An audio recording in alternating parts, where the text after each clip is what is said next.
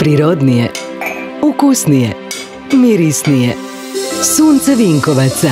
Hladno prešano suncokretovo ulje. Nastalo bez toplinske obrade i rafiniranja. Samo sunce u boci.